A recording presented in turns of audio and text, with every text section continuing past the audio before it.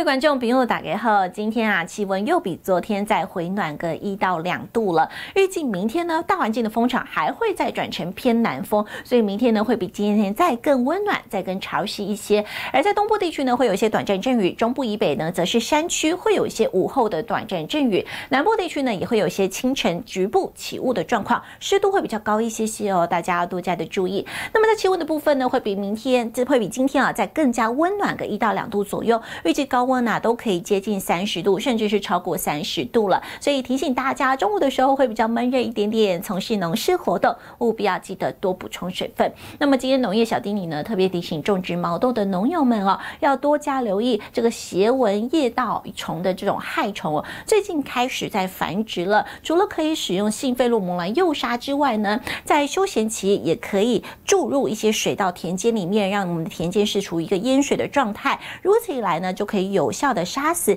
土壤里面的蛹跟幼虫了。好，那么另外呢，也要特别提醒种植茭白笋的农友们，也要多加留意这个恶化鸣虫，它是危害茭白笋最主要的害虫。同样的呢，也是在可以在结蛹期呢，稍微的下降一点水位，等它们都结完蛹之后呢，再放高水位，这样子呢，也可以有效的淹死这些蛹喽。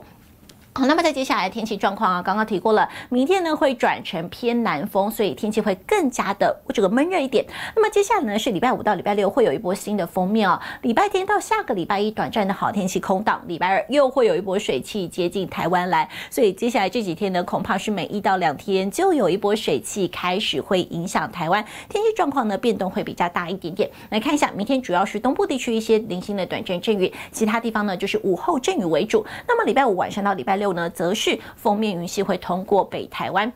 所以我们来看一下，明天呢，主要就是东部地区一些零星短暂阵雨，其他地方是以山区午后的短暂阵雨为主哦。紧接着呢，礼拜五白天的时候天气状况是差不多的，但是到了晚上呢，就会有一波新的封面云系通过，预计会影响台湾到礼拜六。礼拜五晚上到礼拜六的这波封面云系呢，会有机会呢为全台各地，特别是中部以北跟东部地区带来明显的阵雨，大家务必要多加留意这样子的天气变化哦。到了礼拜天呢，雨势稍稍的趋缓，但是因为礼拜天还是吹。是东北风，所以封面的北部跟东部地区仍然是属于这种阴雨的这种比较不稳定的天气状况，所以提醒大家哦，接下来这几天呢，天气状况啊会越来越不稳定，大家务必要好好把握明天到礼拜五白天的好天气，做好一些提前的准备喽。以上就是今天的播报，我们下次见。